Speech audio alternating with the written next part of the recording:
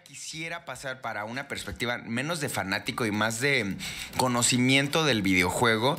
A ver, esta palabra de metaverso me parece que ahorita está de moda y, de repente la empezamos a usar un montón, pero justo, ¿qué significa, Off? Eh, es este universo eh, de Harry Potter tan... Em, pues ahora sí que es sólido eh, y que ahora nos podemos integrar a él. O sea, ¿qué significa como poder hacer esto como videojuego, Ofelia? ¿Qué, opinión tienes? Bueno, viendo el juego solo por el juego, yo creo que lo que hay que hablar más que el concepto del metaverso y de que sea navegable es el hecho de que estamos viendo un eh, juego de primera persona de campaña sin microtransacciones que es exitoso. wow em, eh, ¿por qué no estamos celebrando eso? Esto, es como que llevan mucho tiempo diciendo ya, ¿por qué no vuelven a hacer juegos así? En vez de hacer estas como eh, festivales microtransaccionales que se hacen hoy en día. Em, Oye, gran forma de describir. Y, yo creo que en eso sí puedo decir, pues bueno, aquí hay una prueba de que esto puede funcionar. Ahora, ese puede funcionar, lo pongo muy en duda porque el juego em, pues tiene un impulso mediático muy grande justo por levantar controversia. Y es una lástima porque es más justo. Yo tengo este dicho que siempre cuando hablo de la gente y los talentos y quien sube al escenario, estas cosas que digo que pues que quien tiene magia no necesita trucos. Y curiosamente, la ironía de esta historia es que eh, los, todos los últimos releases de Harry Potter coinciden con que la creadora hace mucha controversia justo cuando está lanzando su próxima película, libro, videojuego. Entonces, claramente está usando trucos, que es irónico hablando de una franquicia como Harry Potter, porque lo que básicamente lo que se dice Harry Potter no tiene magia. Em, pero como sea, pongo en duda si este juego igual no hubiera pasado un poquito más bajo el radar, si no fuera que despertó la controversia. Y como sea, yo lo que celebro es que em, eso, que este estilo de juego hace rato no nos dan un juego así, un juego de campaña eh, que no es un espacio de solamente venta de microtransacción y eso sí lo celebro. Wow, wow. E, eso es, e, esa perspectiva no la había pensado, eh, Ofelia. Se me hace bien interesante y, qué bueno que la remarcas porque yo también celebro cosas, cosas así. Oye, Juaco, esta Ofelia decía eh, sobre que, que, quien tiene magia no necesita trucos. Eh, ¿Tú ves esos, esos trucos en, por ejemplo, en Howard's Legacy? Me gustó mucho la frase. Eh, Ajá, está bien padre. Creo que tiene varios trucos, pero también creo que rescata cierta magia. Em, me parece que el mundo de Harry Potter es, es muy eh, atractivo, sobre todo para el rango de edad, precisamente porque tiene una, incorpora una fantasía de autoinserción es decir, apela muchísimo a la identidad del niño en, su mundo que en donde no tiene ningún poder y le ofrece una fantasía en donde puede aprender a ser alguien muy poderoso. Y básicamente la magia normalmente tiene este tipo de tema de poder hacer cosas que no tienen explicación o, sin, mayor técnica por decirlo de alguna manera. Em, creo que es un paso importante para los fans eh, que, que, puedan navegar el mundo, es decir, crear esta fantasía de autoinserción y finalmente vivirla. Ya no tienes que ver a Harry o a Hermione siendo estos personajes que tienen este poder, ahora eres tú. Eh, hacíamos en el último podcast de Harry Potter, teníamos este ejercicio en donde preguntaba yo cuál es la escuela de Hogwarts con la que te identificas y pues este tipo de ejercicio que en realidad en vez de ser nada más un test de BuzzFeed aborda una probadita de esta fantasía de autoinserción, ¿cómo serías tú si estuvieras en la escuela? ¿A qué tipo de a qué tipo de casa estarías, qué tipo de mago y en el caso del el videojuego qué tipo de persona serías. Eh, abordando un poquito más lo que decía Ofelia, que me parece muy interesante. Eh, efectivamente, la autora hace mucha polémica cada vez que sale uno de sus, de sus nuevos eh, títulos, sobre todo la franquicia de Harry Potter, porque me gustaría también hablar de otros libros que ha escrito recientemente. Pero también qué pasa, más allá de la muerte del autor, eh, una franquicia tan importante como Harry Potter no le pertenece nada más al autor. Hay una enorme corporación multinacional que tiene parte de, gran parte de los derechos y que la considera pues una gran vaca a la que quiere seguir ordeñando. Este tipo de polémicas por supuesto que llama la atención sobre el videojuego, pero también podría alienar a ciertos públicos. Lo que ha hecho Warner es em, varias modificaciones al texto para que ningún público se sienta alienado. Em, desde la construcción de personaje, en donde tú puedes decidir cualquier tipo de raza, hasta el hecho de que no tengas que asignarte como un género. No, no escoges un personaje que sea hombre o mujer, sino que es eh, hechicero o mago. Y ahí es la diferencia. Eh, también hay algunos temas que incorpora, sobre todo en la narrativa. Algunas personas te dirían que si tú haces la saga de Slytherin, eh, el personaje que te guía te hace un montón de insinuaciones que podrían tomarse como queer, que no están expresas en el texto, pero que se infieren del texto. Y ahí también podríamos hablar de una tradición de J.K. Rowling. Em, de hacer asignaciones de preferencia o de identidad que no están necesariamente en el texto. Eh, sin embargo, a mí me parece que el juego también hace un ejercicio de poder eh, que el juego aprenda de tus decisiones y que tú mismo puedas guiar tus decisiones para crear eh, una identidad de mago. Eh, el juego es dinámico, es un texto dinámico, no pasivo, por lo tanto es como un poco difícil de analizar, digamos, en comparación con una película. Eh, pero sí, el juego va aprendiendo de ti y se va modificando el objeto, digamos, de análisis junto contigo para crear juntos una experiencia, digamos, en términos de lo que la tecnología todavía permite, más cercana a lo personal. Eh, tiene esta rejugabilidad que por lo menos hay cuatro formas de jugarlo, lo cual también es interesante. Pero creo que invitamos a Ofelia también para hablar un poco más de la polémica alrededor del título y del autor. Sí, justamente mm, mm, parece que me leíste la mente en ese instante porque em, quisiera pasar un poco a ese tema porque creo que podríamos pensar que, que eh, el juego, el juego, sí, pero bueno, ¿qué está implicando? ¿Qué significa? ¿Y, qué está embarrando y qué está aventando?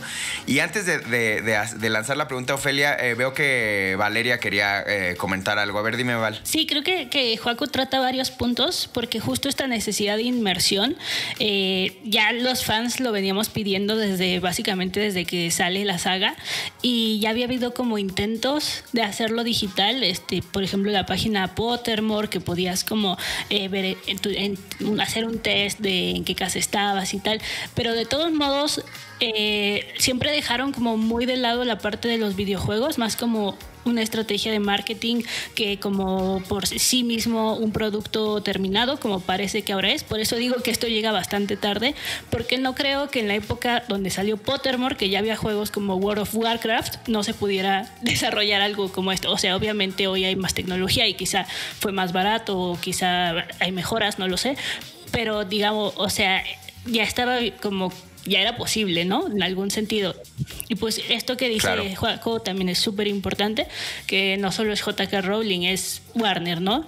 Entonces pensemos también que el mundo mágico, que ahora ya lo rebrandearon así, ya no es Harry Potter, es el mundo mágico, es la cuarta saga como que más recauda dinero y dos de ellas eh, dos de las primeras cuatro son de Disney, que justo es Marvel y Star Wars. Eh, la tercera es Spider-Man y luego vendría Harry Potter, ¿no? Que precisamente aquí traigo algunos datos, han sido eh, por eso les digo que hay como un enfoque, un cambio. Si primero eran como las películas, la apuesta fuerte, después de que la última película, la de Animales Fantásticos 3, Los Secretos de Dumbledore, solo recaudó 400 millones de dólares. Eh, esto es súper poquito para los estándares de Warner. Entonces, pues es muy evidente pues que necesitan un cambio de estrategia y con esto que ya nos contará mejor Ofelia de poner al primer personaje trans de toda la saga, pues quieren como que cambiar pues primero desvincularse de J.K. Rowling o desvincularse entre comillas, como bien señalan, es muy sospechoso que J.K. Rowling diga como cosas muy polémicas justo en el mismo timing pero también como de llegar a una nueva generación, pero de nuevo, tarde y mal, ¿no? Ok. Wow. Eh, eh, eso es muy revelador. Entonces, ahora quiero pasar con Ofelia directamente.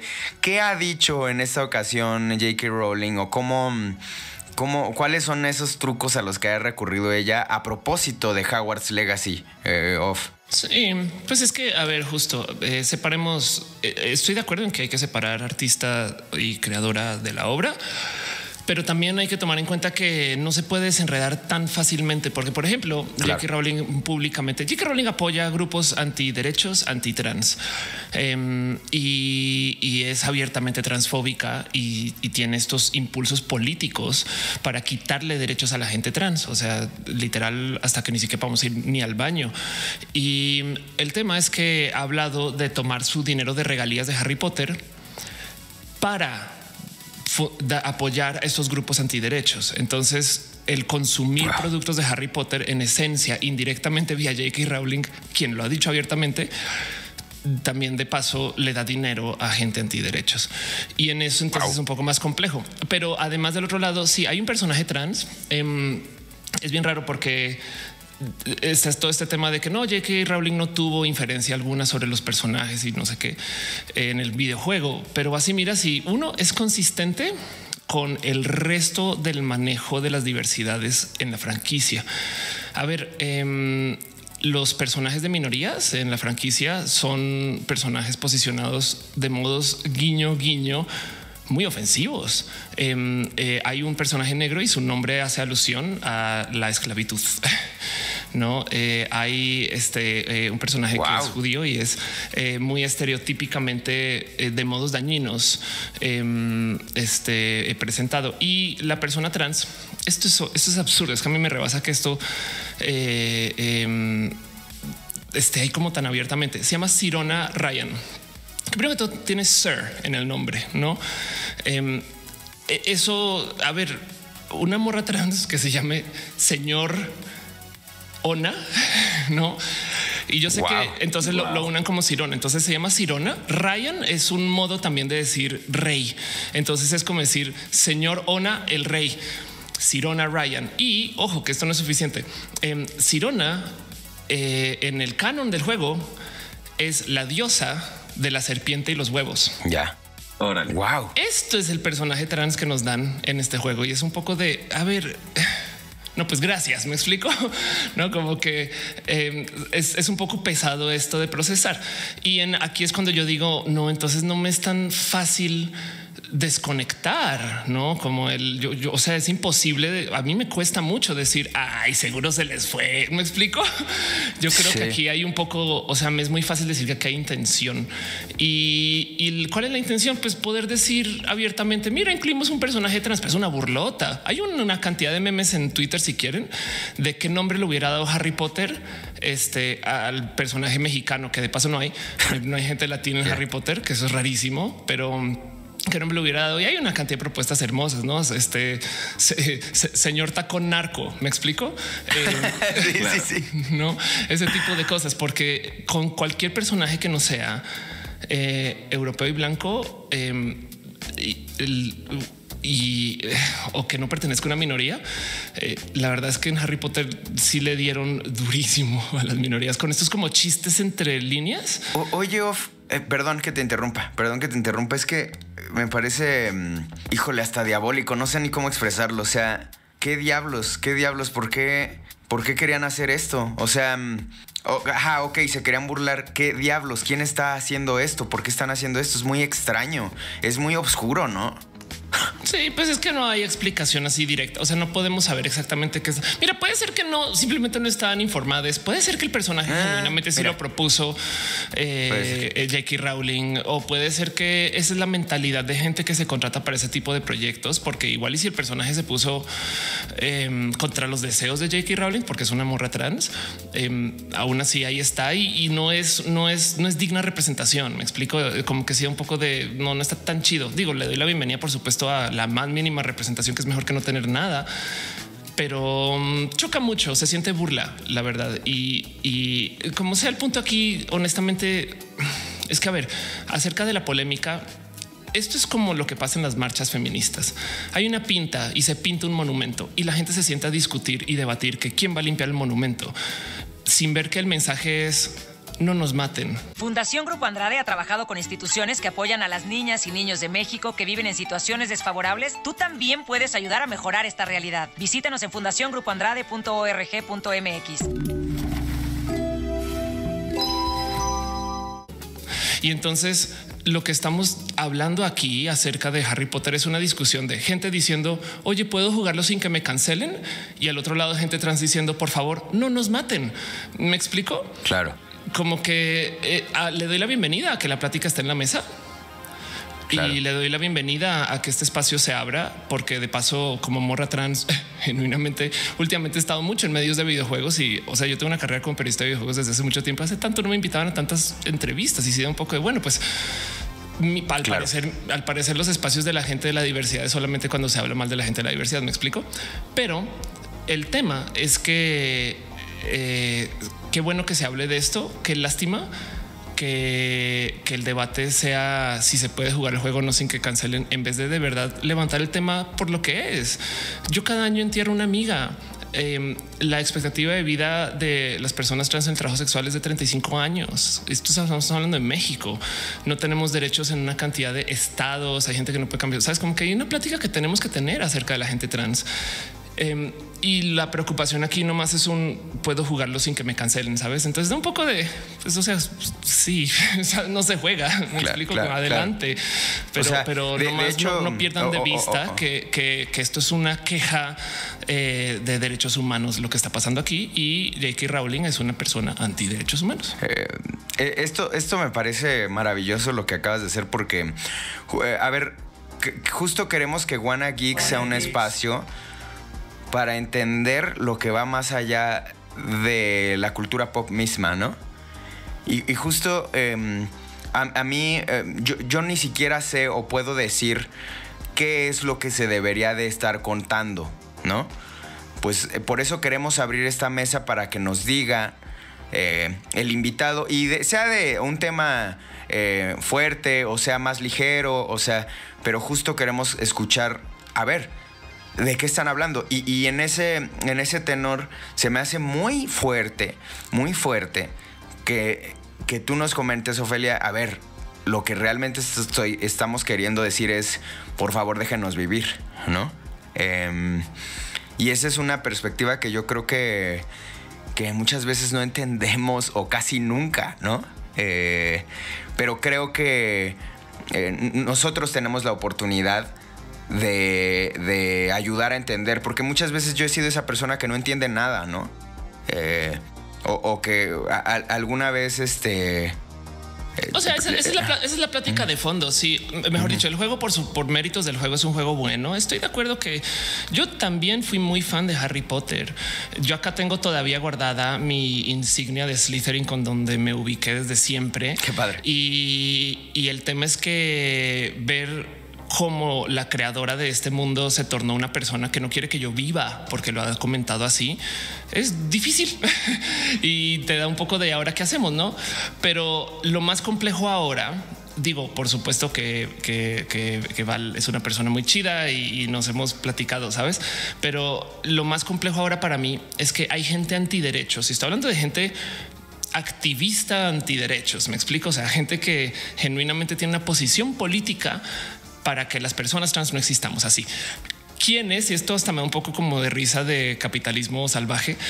Em, consumen productos de Harry Potter para joder a la gente trans. Me explico. O sea, yo he estado en espacios donde hay gente genuinamente antiderechos que me dicen, mira, soy fan de Harry Potter con tal de dejarme en claro que están en contra de la gente trans. Y es un poco de en qué momento esto se volvió así, no? Como bandera, como bandera de Exacto. Qué fuerte. Exacto. Entonces, a mí me cuesta mucho cuando veo gente fan de Harry Potter porque yo tengo que genuinamente tomar la decisión de es antiderechos o es fan, sabes? Wow. Y, Qué fuerte. y darle el, beneficio de la duda a la banda, pues es una medida de cariño a veces, no? El punto aquí es que a esto llegamos, que hasta Harry Potter lo ahora sí, como dicen los fans de los videojuegos, lo volviste político. Pues sí, en este caso, la gente antiderechos volvió Harry Potter político y J.K. Rowling también. Y es raro porque yo entonces por eso de ahí yo me desentendí del total de la franquicia. Nunca castigaré a nadie por querer soñar y ver universos hermosos y no, no más que hay que tener presente que el trasfondo del universo de Harry Potter sí tiene tintes racistas. Em, y de paso, desde los libros se entiende mucho más que no hay presencia queer o LGBT. Es en las pelis que sucedieron más cosas. Y cuando comenzó todo este cuento, lo cual deja en duda si fue J.K. Rowling, no? Pero como sea, en el videojuego sí hay una mención trans que sí digo, hijo, no? Claro. Y, como sea, de nuevo, em, dejemos de enfocarnos tanto en el monumento pintado y no más dejo presente ahí que el motivo por el cual hay tanta gente que está genuinamente parada en sus pestañas gritando de güey, por favor, es porque pues, no le estamos pasando bien la gente trans. Y, y, aquí estamos metidas en esta polémica que genuinamente no queremos tener también, no es que claro. y ya eso es. Pero el juego por el juego, por solo ser el juego, Em, es una buena propuesta, no más que tiene todo este trasfondo. Quiere decir que no se puede consumir. Ahí ver a cada quien. Hay gente que ve películas de eh, personas que hoy en día se sabe que son literal violadores. Hay gente que lee libros de eh, dictadores. Hay gente que eh, ve obras de arte de asesinos, no cosas así. Entonces, pues em, va, no más que con que se sepa el contexto. No, yo con eso tengo paz, con que sepan que esto es lo que está pasando con o sea, no es una mente hermosa que creó este universo, es una persona que eh, también tiene estas visiones y pues luego cada quien verá cómo lo maneja en su corazón. Wow, se me hace muy fuerte y se me hace, mm, eh, bueno, te, lo quiero compartir como una lucha muy bella que, que, digas, oye, a pesar de que no quiero tener estas pláticas, aquí estoy porque creo que ayudan a visibilizar y eso se me hace maravilloso. No manches, Ofelia, que eh, pues felicidades. No sé, a veces eh, nos es complicado ver eh, eso. Creemos que la vida es tan sencilla o tan como nosotros la hemos concebido y poder ver lo de otra perspectiva es, bueno, a mí me parece muy afortunado. Y dicho esto, quisiera preguntarle a Joaco, ¿por qué pasan este tipo de cosas, Juaco? ¿Por qué se, se, confeccionan juegos para agredir, para decir, mira, yo soy el bueno? o sea, es miedo, es, o sea, no, este es Howard's Legacy, su confección. Eh, tristemente, al parecer, es uno de esos eh, banderas de yo soy mejor y aunque hagas berrinche y te incluyo para insultarte y bla, bla, bla. Eh, ¿Por qué pasan este tipo de cosas, Juaco? es una pregunta muy interesante primero voy a referirme a mucho de lo que dijo Ofelia. Eh, primero, el índice de mortalidad es absolutamente pavoroso. Cuando yo me enteré de eso, no lo podía creer. Dije, ¿cómo puedes estar victimizando a una comunidad que, que tiene que lidiar con estos problemas? Pues eh, eh, tus problemas, por fuertes que sean, no, son, no tienen esta dimensión. por otro lado, y, y, va más a lo que, más para referirme a tu pregunta, Rick Hace poco estábamos hablando sobre la representación, estábamos hablando con, pretexto de Buzz Lightyear y todo, el, y todo el escándalo por un besito lésbico que la mayoría de los niños no notó cuando vio la película. Em, aquí había eh, eh, el sociólogo Cedric Clark hacía una categoría de, cuatro niveles de representación. Y Ofelia decía, pues cualquier representación es mejor que no representación porque efectivamente la primera de ellas es simplemente no representación. Cuando eh, te borran de la existencia no reconocen ni siquiera que eh, una demografía existe, que creo que además es el común en los medios eh, de comunicación, por lo menos hasta la última década. olvidémonos de una representación trans, tampoco hay una representación queer y a veces ni siquiera hay cualquier otra raza que no sea la blanca. Eh, el siguiente, por supuesto, es el ridículo, que es en donde la comunidad trans está en este momento. Eh, es una etapa en donde la minoría está incluida solo en el contexto de una broma, que es lo que está pasando en Hogwarts Legacy. La comunidad es ridiculizada y se asume que es mejor ser ridiculizado que ser ignorado. Eh, pero también tiene otro, otro aspecto que es el de el miedo. Hablábamos cuando hablábamos de Buzz Lightyear en cómo Disney ha representado históricamente a la comunidad queer, eh, primero a veces como una burla, pero sobre todo como villano.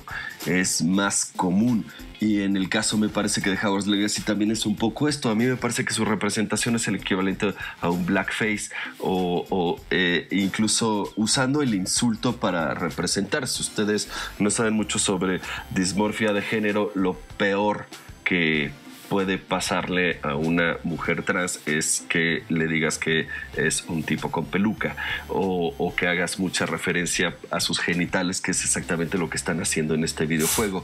Es decir, este ridículo es muy ofensivo y, ataca precisamente las cosas que la comunidad trans considera delicadas. Eh, es, creo que es muy grave cierto que cualquier representación es mejor que ninguna representación, pero por otro lado, Ofelia decía que nunca, habían, nunca la habían entrevistado tanto, excepto cuando surgen este tipo de, polémicas. Y por supuesto que, por supuesto que es molesto, por supuesto que puedo entender cómo, cómo esto eh, nuevamente eh, toca todas las, heridas y todos los puntos sensibles que normalmente no se quieren tocar, pero también también decía em, que, que, son, que la comunidad empieza a ser notoria cuando simplemente se le está molestando. Yo creo que es exactamente al revés. Yo creo que la molestia surge precisamente porque en los últimos 10 años la comunidad trans ha ganado notoriedad. Y volviendo a tu pregunta, eh, eh, Rick, esto genera miedo y genera amenaza. Y yo creo que el prejuicio viene precisamente de ahí. La intolerancia no se ve como el odio, que un poco es lo que está representando el videojuego, sino tiene un tono mucho más condescendiente y normalmente se presenta a sí mismo como defensivo. Suena más o menos así, como no es que yo tenga nada en contra de la comunidad gay, lo que pasa es que quiero defender los valores de la familia o, eh, o, o quiero defender los programas infantiles. Entonces, ese es el tono que si has leído los hilos de, de J.K. Rowling, hay uno muy largo que escribió, eh, se llama Death Wars, y tiene exactamente este tono. Además, la señora escribe bien, entonces sabe de alguna forma disfrazar todo su discurso de odio eh, con mucha empatía y, y, con mucha comprensión y con este lenguaje de no es que yo quiera atacarte, es que estoy defendiendo X cosa. No es que yo odie a la comunidad trans, es que creo que las mujeres están siendo invisibilizadas o se les está quitando. Y te, voy a decir algo, Juan, un paréntesis rápido, un paréntesis rapidísimo para que no se nos vaya. Si ustedes leen este, mm, mi lucha de Hitler, em, así, así, eso hace cuando empieza a agredir a los judíos. O sea, él dice, no es que yo, o sea, empieza a hacer un, man, un o sea, maneja el lenguaje de forma así de, yo también los quería, yo, y de repente se les deja ir y te empieza a decir, y no es que yo eh, tenga nada contra ellos, sino lo que quiero es que mi país, o sea, y, y, ¿por qué lo menciono? Porque, mm, ah, caray, ¿no? Ah, caray, se parecen se parecen los discursos y es, es, fuerte, es fuerte como, o sea, yo no es que lo tuviera yo ya este, preparado esto, ¿eh? Ahorita que me estás diciendo digo, ah, caray, ¿no? Sí, estoy de acuerdo. Em, y, claro, toda, toda, la, toda la política del baño público a la que hace referencia Ofelia y que yo creo que, no sé, no creo que tengamos tiempo ahorita, pero que sería, sí sería interesante eh, eh, hacer todo, toda una disertación sobre eso, pero volviendo a tu pregunta, Rick, creo que eh, las mujeres trans normalmente son vistas como un objeto fetiche hipersexualizado o como un depredador sexual. No sé exactamente cuál es la representación del videojuego, pero algo me dice que va por ahí. Eh, y por otro lado, normalmente la discusión sobre, eh, sobre la comunidad trans deja fuera a los hombres trans. es, digamos, el lado más invisibilizado de la conversación. Y es porque normalmente la transfobia no considera al hombre trans como ni siquiera como un hombre, ni siquiera como una lesbiana, lo considera simplemente, eh, jala mucho de los tropos misóginos, lo considera simplemente una mujer desorientada, infantilizada y que ha caído víctima de muchos de los discursos del patriarcado. Em, para los hombres cis, normalmente la comunidad trans jala mucho de los prejuicios de la homofobia. Lo que le genera al hombre cis es eh, amenaza de su propia hombría. ¿Qué es un eh, hombre cis? Nada más para contextualizar a la audiencia, Juaco. Un hombre cis es un hombre que se, que se identifica como hombre. Ya, ya, ya. O sea, ya, ya. Sí, sigue. Eh, entonces, eh, eh, es su inseguridad propia sobre su propia hombría que le pasa mucho con la comunidad eh, LGBT. Es decir, ¿qué tal si me gusta? ¿O qué tal si se ven reflejados? ¿Qué tal si yo tengo este tipo de identidad un poco más fluida y eso amenaza su identidad? Para las mujeres, para cierto tipo de, discurso dentro de las mujeres, sienten a veces otro tipo de amenaza cuando ven a una mujer trans que es femenina, dicen, ¿cómo te atreves? Eso no es ser mujer o esa no es mi experiencia de haber sido mujer. ¿Cómo te atreves a hacer esta mofa o esta caricatura eh, o parodia fetichista cuando yo tuve mi propia lucha en un mundo misógino y patriarcal para aceptar mi identidad como mujer? Y eh, puedes ver aquí cómo a veces es empático el discurso, cómo a veces puedes ver su punto. Sin embargo, eh, así como no hay una forma de ser hombre, tampoco hay una forma de ser mujer. Eh, por supuesto que cada quien tuvo su experiencia y cada quien tiene que lidiar con su identidad de su manera particular, pero creo que estas son como como más o menos las visiones eh, transfóbicas o cómo surge la intolerancia, que no es lo mismo que el odio. Eh, este tipo de discursos más o menos defensivos y, de, rechazo. Creo que la mayoría de los casos es una amenaza interiorizada. Wow. Wow, wow, wow. Es, es, la charla está como brutal porque además hemos tenido capítulos anteriores donde todo todo se trata del amor que ha eh, impregnado Harry Potter o que le tienen a la franquicia, o cómo salvó algunas vidas, o cómo. Y, ahora regresamos y lo analizamos desde otro punto de vista y me parece muy fuerte. Y, dicho esto, quisiera preguntarle a Val. ¿Cómo recibes esto que, nos comparte principalmente Ofelia? Eh, y te lo pregunto así como creo que eres justo la indicada, porque además, no nada más eres como adoradora de Harry Potter, sino también eres una, una mujer como, muy consciente y que se le hacen desagradables muchas de las cosas que J.K. Rowling ha dicho o insinuado. Entonces, ¿cómo recibes esto, Val? O sea, ¿cómo, cómo, cómo, tú como fanática, como, cómo? No, pues primero muchas gracias Ofelia por tener el tiempo y la paciencia justamente de explicarnos qué es lo que está mal con este personaje y que no solo es un personaje, ¿no? Sino pues las implicaciones, las ganancias, que es seguir como alimentando pues a esta persona y que finalmente ella financia grupos antiderechos en el Reino Unido. Y bueno, pues, pero sí, también mencionar, por supuesto que, que estoy muy consciente de que de que, o sea, ahora que uno ve con con ojos ya no infantiles, ¿no? Ya como un adulto, ya que has visto cómo otros grupos sufren discriminación, porque a veces, pues, como mujer sí es como muy fácil ir por la vida o relativamente fácil, pues justamente decir, bueno, también aguas porque el juego, este Howard Legacy, se trata de que el malo es un duende, ¿no? Justamente ahora que hablaban del antisemitismo, ha habido críticas también de este lado de que JK Rowling retrata a los duendes, que son como los que se encargan del sistema financiero mágico, con rasgos bastante antisemitas, ¿no? O sea, físicos, pero también este, morales. Entonces, ahí aguas y el malo es, eh, se trata el videojuego, tengo entendido que el malo es un duende que encabeza una de las muchas rebeliones de duendes que ha habido en la historia del mundo mágico, porque eh, y hay que decirlo, cuando empieza Harry Potter, que es en los años 1990, sí hay un régimen donde los magos son como la clase dominante y tienen sometidas a otras criaturas mágicas, entre ellas los duendes, que no pueden usar varitas mágicas, o sea, los tienen limitados y segregados para que no puedan eh, hacer uso de sus poderes como al, al full, ¿no? y que ellos sigan teniendo la supremacía política y mágica. Eso es súper grave, o sea, ahora que lo ves con nuevos ojos, dices, wow, ¿no?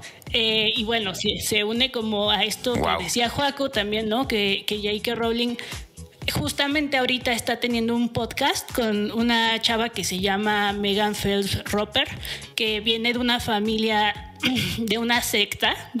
Ella no le llama secta, pero bueno, es una, era una secta, es una secta en Estados Unidos que desde los años 60, 70, o sea, lleva años em, presentándose en funerales de personas eh, gay, cuando fue la epidemia del SIDA, iban afuera de funerales de gente que moría por, por estas causas con pancartas como celebrando. ¿no? Em, eh, bueno, esta chava, esta chava Megan Phelps Roper eh, en 2012 se empieza a separar de esta secta porque empieza como a través de internet a conocer a más gente de otras religiones que ella odiaba y pues empieza como a formar amistad y le empiezan a refutar sus dichos que ella decía con la Biblia, ¿no? A tener otra interpretación del mundo y entonces pues ya ella como que después ya es activista, ya tiene charlas TED de cómo pues estas cámaras de eco pues terminan generando grupos de odio y bueno, y ya, esto es lo que tengo que decir. Están diciendo muchas cosas importantes, muy interesantes, pero esto es lo que recuerdo que, mencionó Joaco y Ofelia. Muchas gracias, Val. Em, bueno, vamos a los datos curiosos, pero antes vamos a un corte comercial y regresamos en unos segunditos. Bueno, ya regresamos del corte. Yo tenía pensado, pasemos a los datos curiosos. Tenía pensado unos datos curiosos sobre eh, Howards, pero quisiera o sea, como que descolocar esto o encarrilar. Y quisiera que, Ofelia nos compartiera unos datos, eh, ahora sí que no datos curiosos, sino datos interesantes y fuertes sobre el transgénero para que nos ayude a concientizarnos. No sé si sea posible, Off. Eh, pues no sé si tengo datos preparados o algo así que pueda compartir. Lo que sí puedo decir es que em, mucha más gente es eh, hay mucha gente LGBT en el país y, si nos sentamos a contar minorías, somos muchas más personas que lo que nos dicen los medios, no bien que podemos hablar acerca de cómo en las revistas les encanta, pero les encanta tener solamente gente blanca en las portadas, no? Y entonces se inventan esta noción de que el motivo por el cual lo hacen es porque es aspiracional y es de perdón. ¿Quién gente morena que quiera ser blanca, sabes? Es como de, que, de dónde sacaron esa idea. Y mm, lo mismo pasa con todo aquello con el tema LGBT. Yo creo que no me cuesta mucho pensar en que existe alguien en, el país que no conoce a nadie LGBT. Eh, la estadística es que el 10% de los países OSD es gente abiertamente LGBT, lo cual significa que para México son 15 millones de personas.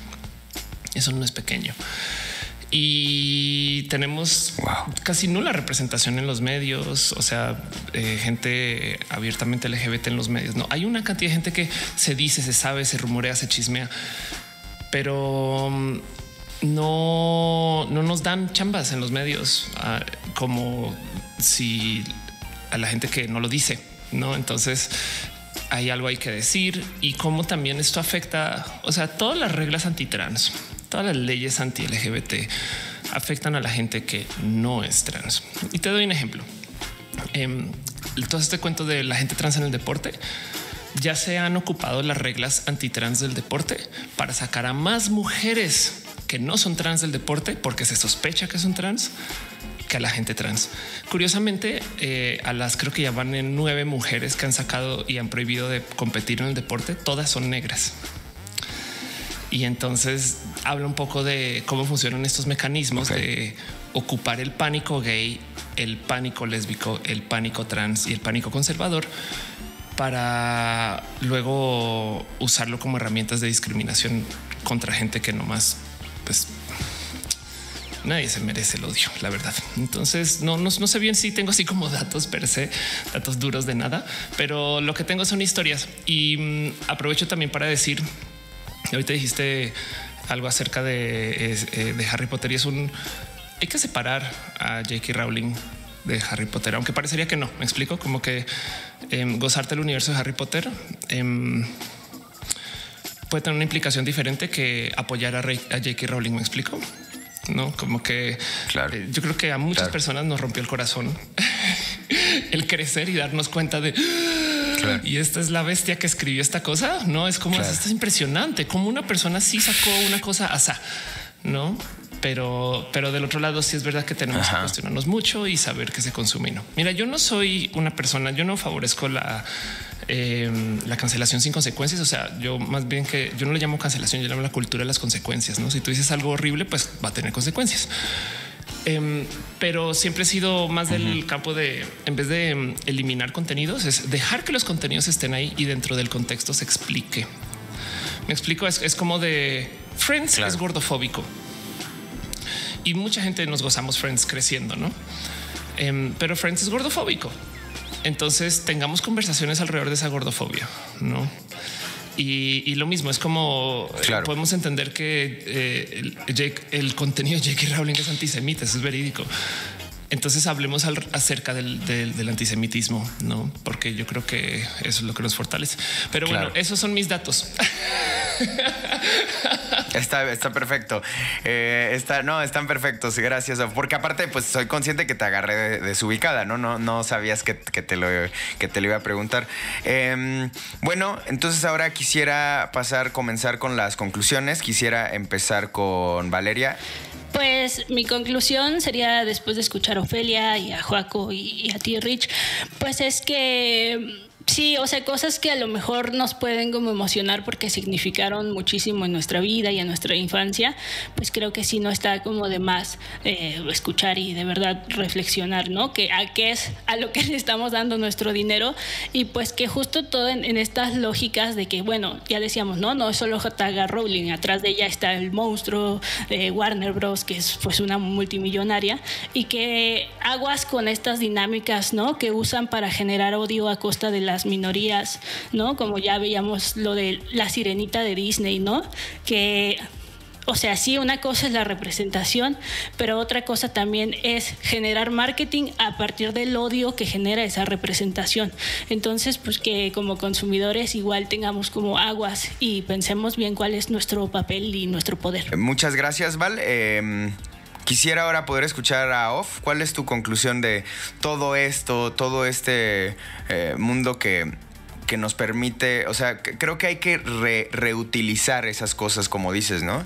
Y si están usándolas para hacer daño, pues reenfocarlas y decir, ok, ¿cómo, cómo salimos airosos o cómo aprovechamos eso para, para sentirnos bien? Pero bueno, este, ¿cuáles fueron, cuáles son tus conclusiones, Of? Sí, e, es una lástima Em, lo más triste de la situación es ver a J.K. Rowling caer bajo, porque cuando te conectas con las historias de J.K. Rowling de Chiqui, dices wow, esta persona que escribió esto, y luego te das cuenta que es una persona que pues tiene visiones horribles de la vida y luego te das cuenta que las películas que mejor vendieron de J.K. Rowling son las que alguien guionizó por ella y que el momento que ella comenzó a escribir los guiones, esas fueron las peores películas de Harry Potter. O sea, las últimas, las que no venden, son las que J.K. Rowling escribió su guion y da un poco de pero no es la buena escritora. Y entonces te das cuenta que no, no es tan buena escritora, sino es que la editorializaron muy bien. Eh, y te das cuenta que para poder vender tiene que hacer controversia y te das cuenta que es una persona que es horrible de su corazón y entonces da un poco de creo que lo que me trae todo este sentir es esto es lo que es crecer, darte cuenta que el mundo no es tan hermoso como tus fantasías de chiqui. Y no más dejo sobre la mesa que por favor eh, ténganle paciencia a la gente de las minorías, sobre todo cuando estamos poniendo una queja, porque es difícil quejarse y si estamos alzando la voz es porque hay injusticias. Entonces no es que queramos que quitarle su gozo de jugar el videojuego, es que tenemos una queja genuina y no solo fue Hogwarts Legacy, o sea, el universo entero de Harry Potter para nosotros ya ha sido agua minada desde hace muchos años. No más que hasta ahorita algunas personas se están dando cuenta y eso hasta me da un poco de chale, no lo habían visto. Em, pero ya que está sobre la mesa, hablemoslo y, ojalá se pueda más bien apoyar a nuevos talentos. Wow, qué, fuerte y qué, qué potente. Juaco, tu Conclusión. Gracias. Eh, eh, un comentario al margen, al margen, efectivamente tiene contenido eh, veladamente antisemita. La rebelión de los goblins me parece interesante porque hay cierto miedo de la civilización blanca occidental hacia la sublevación de los subalternos. Eh, no importa si es una raza o si son los robots que tenemos esclavizados. Recordemos que la palabra robot significa esclavo o si es en este caso una raza de semi-humanos. Nótese la palabra semi. Em, creo que yo creo también en la muerte del autor. Me parece que una vez que el autor escribe su obra ya no le pertenece a él, le pertenece al público, que es a ellos a quien les toca interpretar y hacer suyos los contenidos. Sin embargo, es bien difícil porque, como dice Rowling en algún tweet, si ustedes ven ahorita el timeline de, de JK, de Joan Rowling, pueden ver puro odio. Es puro odio todos los días. Ella ha usado su nombre y su fama como plataforma política y punto. Eh, y en uno de estos tweets dice, cada vez que me cancelan en Twitter y me dicen que soy, que soy una intolerante, simplemente veo los fajos de billetes y como que se me pasa. Entonces, sí, al consumir le estamos dando regalías a ella y al, y al darle regalías a ella, que es una de las autoras de novela más importantes de la actualidad, pues ella tiene una plataforma que está usando para dar eh, voz a intolerantes o como dice Val a la, a la iglesia de Westboro que es literal odio. Em, tampoco creo en el consumo como protesta. Creo que no, creo que simplemente es inefectivo. Eh, tampoco creo que exista un consumo ético dentro del capitalismo. Em, sin embargo, y digamos, hablando un poco del juego eh, en términos culturales, creo que la posibilidad de que los fans se metan a jugar al mundo de Harry Potter, nos dice que la IP entiende la importancia de la participación y la interactividad en la actualidad y en el futuro de la industria cultural y mientras más personas pueden interactuar y ser integradas, eh, mayor será el involucramiento y mayor serán las ganancias de estas empresas. Entonces cada vez se les hace más difícil eh, excluir e invisibilizar. Creo que es un paso importante para los fans y un paso importante para varias comunidades. Eh, yo me imagino cualquier, un ejercicio similar para cualquier otra franquicia, digamos Naruto, eliges tu aldea, eliges tu clan, eliges las técnicas secretas que, eh, que vas a usar, eh, decides cuál va a ser tu camino del ninja y esto suena para un montón de otakus como una fantasía hecha realidad. Y yo espero que este sea el primer paso en una tendencia creciente en la expansión transmedia de las IPs. Por otro lado, creo que mucho del odio que ha surgido es precisamente porque la visibilidad de la comunidad trans cada vez es mayor, sobre todo en los últimos 10 años. J.K. Rowling dice con, un tono de alarma que la cantidad de personas que se ha declarado trans ha subido, sobre todo en menores de edad, ha subido exponencialmente y sí es cierto, es cierto en la misma medida en la que la cantidad de personas que se declararon zurdas subió exponencialmente cuando dejaron de obligarlos a usar la mano derecha podemos hacer el mismo análisis con la comunidad que se ha declarado LGBT visiblemente en la medida en la que el estigma se ha disminuido, aunque por supuesto no ha desaparecido. Entonces creo que va a haber más eh, encono y mucho más expresiones tanto de odio como de intolerancia en tanto las personas trans sean más visibles y el resto de la comunidad que digamos más conservadora que no le gusta que cambie la normatividad se sientan más amenazadas. Sin embargo, esta visibilidad cada vez eh, va a ser menos hostil y creo que además va a ser en beneficio de la comunidad en su conjunto. no existe la política woke en este caso. La comunidad trans no tiene una ideología en la que todos se puedan poner de acuerdo. Esto es simplemente un mito conservador.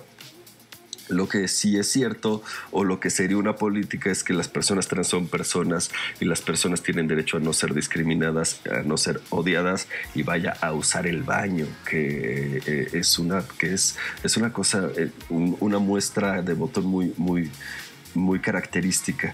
Entonces, esa es mi conclusión. Me parece que la visibilidad es importante y que vamos a un mundo en donde nos entendamos mejor. Fíjate qué, interesante que yo, yo tengo conclusión en dos partes, ¿no? Una para respecto a Harry Potter y otra respecto a esto.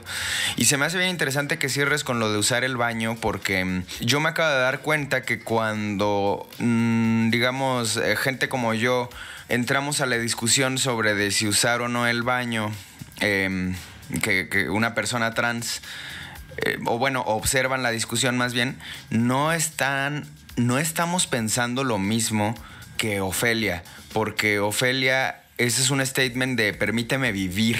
Y luego las personas creen que solo se trata de usar o no un baño que creían que era de ellos, una cosa así como muy extraña. Y entonces eso, eso se me hace interesante decir de esta lucha, esta lucha es para poder existir eh, sin tener que, luchar o ser agredido, ¿no? Creo que hay una película de Javier Dolan que se llama Lawrence Anyways. Esa es creo que una aproximación muy interesante al tema trans porque creo que es muy honesta y te permite entender y eso y se me hace siempre interesante porque creo que mm, cuando entendemos eh, nos permite acercarnos de forma, de mucha mejor forma, ¿no? Eh, y una forma más honesta y sin miedo y ese por un lado. Y por el otro lado, eh, a ver, yo veo que muchos fanáticos de Harry Potter que, que que concuerdan con las luchas de Ofelia y que a veces se sienten muy lastimados, ¿no? De, pero, o sea, no, no, no con la con, por ejemplo, Ofelia, sino pues con Harry Potter o con, ¿no? Que los hizo tan felices y ahora se dan cuenta. Pero yo voy a resignificar eso y creo que si Harry Potter es, es el libro que nos hizo felices de niños, ya de adultos nos hace darnos cuenta de cosas desagradables, también se me hace que ahí hay belleza. Y también tenemos que agradecer a Harry Potter por habernos abierto los ojos a lo mejor no de la manera que nos hubiera gustado, no, no de una forma bonita, pero a lo mejor sí bella porque nos hace darnos cuenta y, creo que es mejor. Gracias, gracias Ofelia. Eh, la verdad ha sido una plática maravillosa, bueno, desde mi perspectiva. Significa mucho que, te tomes el tiempo de, de conversar. Ojalá te tengamos pronto de nuevo. Gracias, Juaco, siempre por, eh, por tus análisis, eh, que son, son, ¿no? O sea, creo que dan otra perspectiva. Gracias, Valeria, por poder, eh, como fanática de Harry Potter, hacernos, no nada más hacernos ver ciertas cosas, sino escuchar. Y bueno, Gracias a las audiencias de Wanna Geeks que nos permiten hacer este programa. Gracias a Héctor en los controles, a Javier Martrete en producción general, Luisa Cantú en dirección general. Esto fue Wanna, Geeks y nos escuchamos para la próxima.